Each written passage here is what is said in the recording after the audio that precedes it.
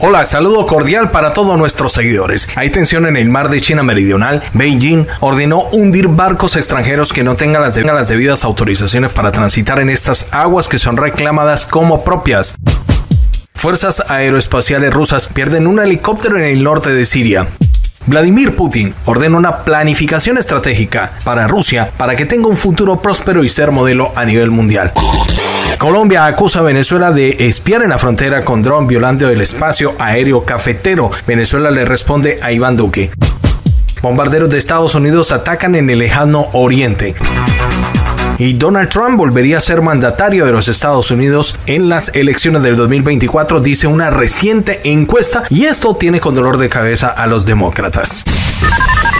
Los invitamos para que se queden en el desarrollo de las noticias aquí en Noticias de Última Hora. Aquí está el desarrollo noticioso para hoy. Estas son las noticias más relevantes de hoy. Mucha atención amigos de Noticias de Última Hora. Los medios en Arabia están informando que un helicóptero militar ruso fue derribado en el norte de Siria. La agencia de noticias Al Arabiya informa que un helicóptero militar ruso fue destruido en el norte de Siria y que volaba en el área de operación militar turca Rama de Olivo dirigida contra los kurdos sirios. Se informa que el helicóptero militar ruso fue derribado en las afueras de la provincia de Siria de Asaka. Sin embargo, la agencia de noticias árabe Al Arabiya no proporciona más detalles. Las tropas turcas chocaron contra un helicóptero ruso que volaba en el cielo sobre la provincia de Asaka, se informó. Aparentemente, uno de los helicópteros de las fuerzas aeroespaciales rusas anteriormente en la zona del asentamiento de Al-Dardara se había visto, según informó la agencia de noticias siria North Press Agency. Sin embargo, la publicación informó que los helicópteros rusos disparaban con éxito a las trampas de calor como resultado de lo cual estas últimas lograron evadir los misiles turcos. Al mismo tiempo, los líderes de las fuerzas aeroespaciales de Rusia se negaron a comentar datos sobre lo que es esta publicación de estos portales en el Oriente Medio. No existe hasta el momento evidencia o refutación sobre esta información, dice avia.pro.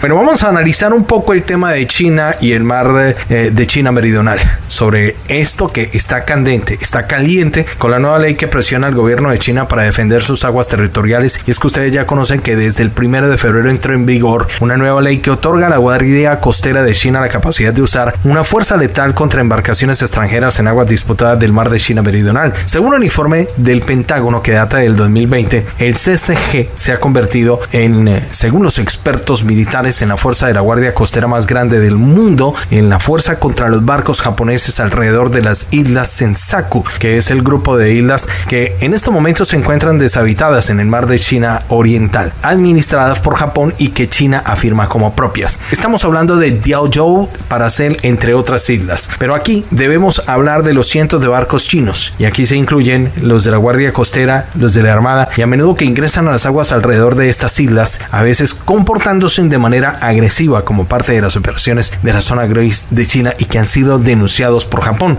La parte más preocupante de la ley es el artículo 22 que autoriza al CCG, estamos hablando de la Guardia Costera, a tomar todas las medidas necesarias, incluso el uso de las armas cuando la soberanía nacional de China, los derechos soberanos y la jurisdicción están siendo infringidos ilegalmente por organizaciones extranjeras o individuos en el mar en el artículo 20 de la ley. Pero presten mucha atención amigos de noticias de última hora a este dato según se ha establecido la ley de China autoriza a la Guardia Costera demoler edificios, estructuras y diversos dispositivos fijos o flotantes construidos por extranjeros en áreas marítimas de las islas bajo jurisdicción del Dragón Rojo. Estas disposiciones no son nuevas. Muchos guardacostas y agencias de seguridad marítima operan bajo reglas similares. Indonesia o como por ejemplo Malasia hunden habitualmente en sus aguas buques pesqueros extranjeros, algunos de ellos chinos. El riesgo del conflicto sigue siendo muy real principalmente porque la Guardia Costera está implementando la nueva ley en el territorio en disputa. Las aclaraciones y las órdenes que ha dado Xi Jinping como presidente de China podrían llevar realmente a alentar a que los capitanes de los barcos chinos a las reglas más antiguas con moderación porque las autoridades chinas no estaban completamente seguras de qué condiciones serían apropiadas para usar la fuerza o realizar cualquiera de estas acciones. Ahora, con claridad se brindan estas regulaciones. Estos comandantes de las aguas pueden sentir que a su juicio tendrían derecho a responder a los incidentes mucho más rápidamente y con mucha más fuerza que en el pasado para defender la soberanía nacional de China y eliminar las fuerzas hostiles del camino. Y es que miremos un poco con qué cuenta la Guardia Costera de China a la hora de una disputa en sus aguas territoriales. Y es que investigando un poco la Guardia Costera posee más de 130 grandes barcos de patrulla, cada uno de los cuales desplaza más de mil toneladas, lo que lo convierte como mucho en la Guardia Costera más grande del mundo, según un informe que ha entregado el Pentágono en el 2020. Para los expertos y los analistas, los barcos también se encuentran entre los más armados, los más grandes y los de mejor rendimiento de cualquier guardia costera. Solo dos barcos de la clase Chateau pueden manejar más de 10.000 toneladas más que un crucero de misiles guiados estadounidenses. La mayoría de las patrullas de la Guardia Costera de China también pueden transportar helicópteros. La Guardia Costera de Japón es mucho más pequeña con solamente tres embarcaciones que se desplazan de más de mil toneladas y su capacidad para usar la fuerza letal está severamente restringida, lo que significa que a veces necesitarían llamar a las fuerzas de autodefensa marítima y aérea de Japón para que resistan. Japón ha dado a conocer su descontento con la nueva ley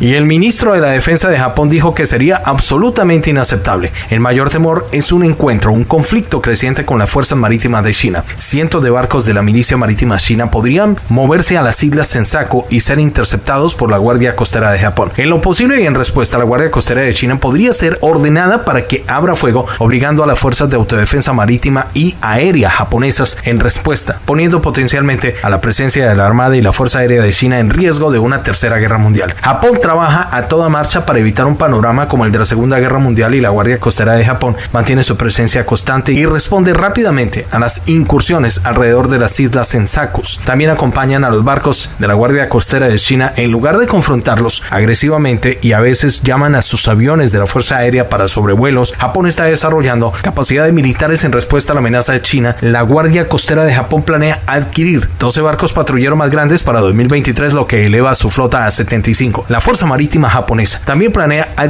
barcos nuevos y avanzados, más pequeños, más baratos y fáciles de construir. Esto incluiría 30 fragatas de la clase FM, de los cuales el Kumano se lanzó en noviembre pasado y se espera que se contrate en 2022. La Fuerza Marítima japonesa espera tener 22 de estas fragatas para 2032. La Armada japonesa también está ampliando sus helicópteros de clase 2 Insumo de Izumo, que se está convirtiendo para transportar casas F-35 y Japón también está mejorando su arsenal de infantería, construyendo bases en el sureste y aumentando su arsenal de casas F-35 con planes para construir un caza furtivo nativo. También han creado la unidad antianfibia que ha sido creada para la guerra en las islas e inspirada por el cuerpo de Marines de los Estados Unidos. Pero en estos momentos es difícil para Japón ganar el juego de números con China, que tiene más recursos, tiene más capacidad industrial. Además, miremos que la guardia costera más grande del mundo la tiene China y también tiene la armada más grande. El problema aquí para los japoneses son simplemente que son superados en número y con menos armas. Las crecientes incursiones marítimas y aéreas por parte del Dragón Rojo están dejando rezagados, están dejando atrás a los barcos de guerra, aviones y pilotos de Japón. Sin embargo, Tokio no está solo y aquí entra a jugar el verdadero apoyo que le pueda prestar el Pentágono Occidente a Japón y es que Estados Unidos tiene la obligación de un tratado de acudir en defensa de Japón y el presidente Joe Biden, el secretario de la defensa Leo Austin y también estamos hablando que el secretario de Estado Anthony Blinken dijeron que el tratado se aplica a las islas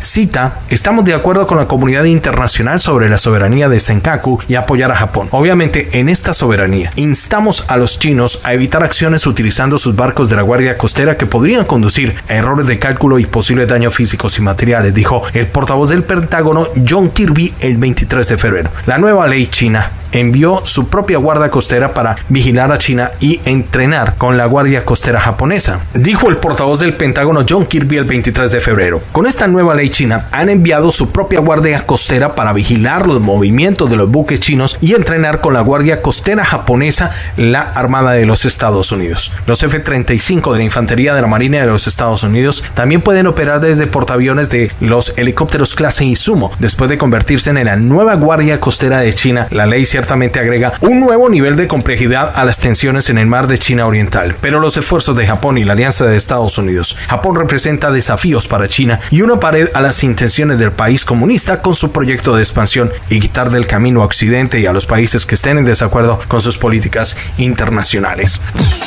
Vamos a continuar con más eh, información. Putin ha ordenado en las últimas horas una planificación estratégica para asegurar que Rusia tenga un futuro exitoso y un futuro próspero. Así como lo están escuchando, Vladimir Putin en las últimas horas ha dicho, ve, necesito un futuro próspero para Rusia. O sea que ha ordenado lo que es la preparación, la fundamentación de una política que se base a nivel estatal sobre la planificación estratégica y el desarrollo de una economía próspera, una economía en donde Rusia tenga un sistema íntegro y equilibrado. Esto se dio durante una reunión del Consejo de Seguridad y el presidente Vladimir Putin también dijo que esta tarea tiene como razón la creación de planes, programas modernos a través de su gobierno, afinados y apuntados al resultado concreto que dispongan a los órganos del poder, a la sociedad civil en general y a los negocios a trabajar en una lógica unida y buscar conseguir metas de prioridad conjuntamente por el bien exitoso y próspero futuro de Rusia.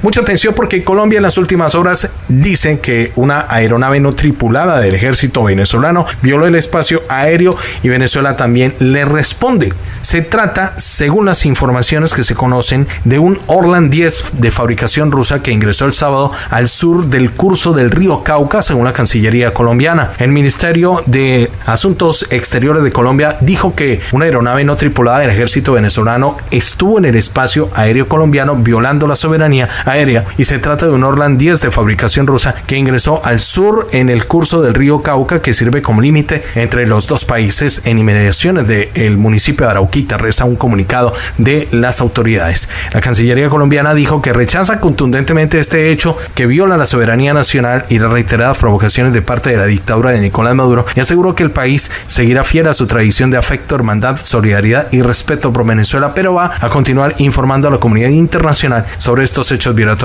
a nivel internacional. Por su parte, Vladimir Padrino López, que funge como ministro del Poder Popular en la defensa de Venezuela, declaró en su cuenta de Twitter que a Caracas le cuesta mucho tomar en serio el hilo conductor que describe la narrativa que revista colombiana para, según él, enlodar el diálogo entre el gobierno y la oposición en México y hace pensar que los superorganismos de inteligencia vecino pasaron de custodiar la producción y el tráfico de estupefacientes al consumo. El alto funcionario bromeó diciendo que su país no se en la próxima entrega Bogotá acude a expedientes alienígenas de ovnis complotados con Venezuela para justificar la guerra de las galaxias y así validar la intervención norteamericana para salvar el mundo. Sean serios, están quedando muy mal, concluyó. Previamente la Fuerza Nacional Bolivariana denunció el 21 de septiembre la violación del espacio aéreo venezolano por parte de un dron tipo Hermes perteneciente a la Fuerza Aérea Colombiana a través de un comunicado divulgado por la FAN en su sitio web, que detalla que el hecho fue registrado el 20 de septiembre a las 16 y 48 horas de la tarde en la hora colombiana.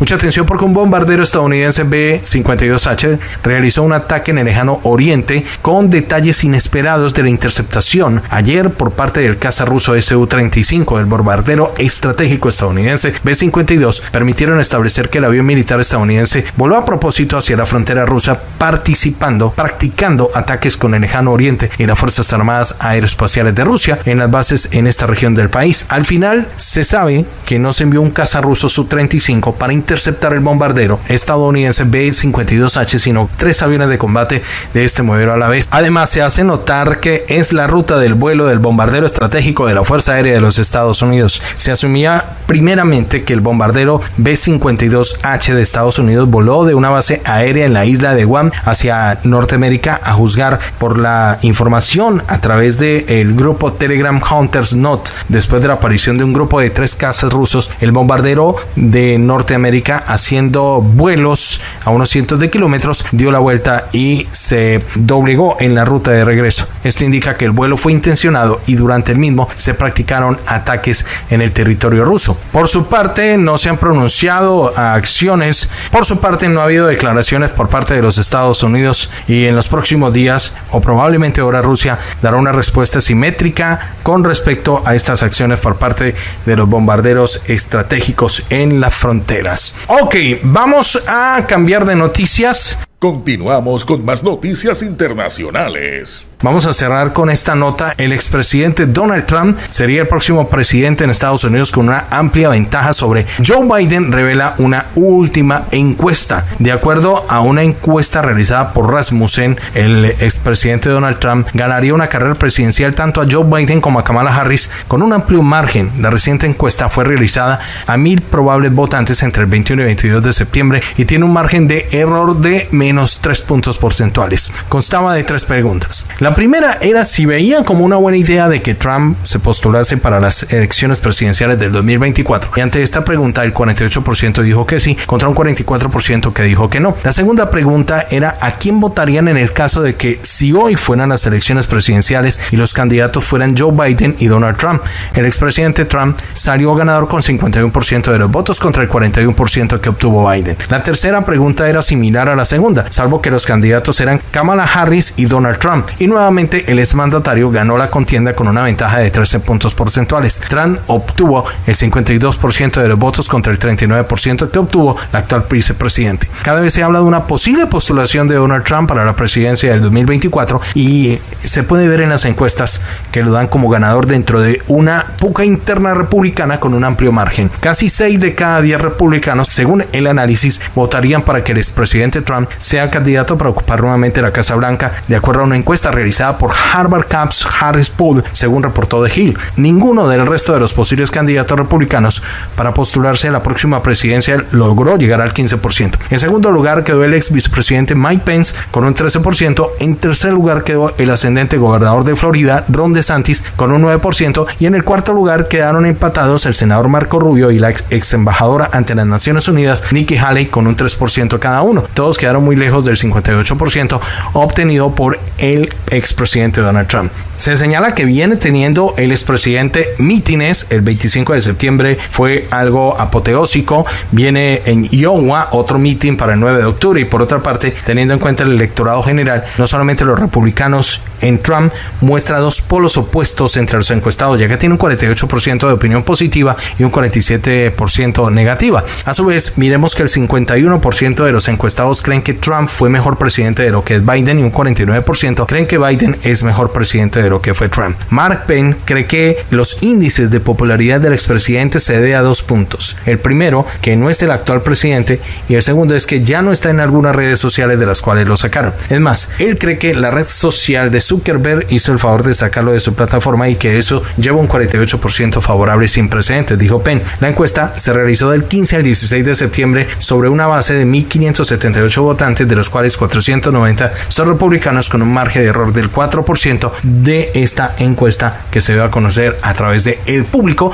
y estamos dándola a conocer a través de el canal Bless. Llegamos a la parte final de nuestro video. Ustedes muy amables y muchísimas gracias por llegar hasta acá, por su apoyo. Recuerden dejarnos su comentario que es importantísimo para la cobertura del video. Los invitamos, si son nuevos en nuestro canal, a activar la campanita roja de notificaciones, suscribirse a nuestro canal y si cree que es de utilidad este video, los invitamos a darle manito arriba. Muchas gracias. Dios los bendiga y escuchamos en el próximo contenido. Saludos para nuestros suscriptores en el mundo.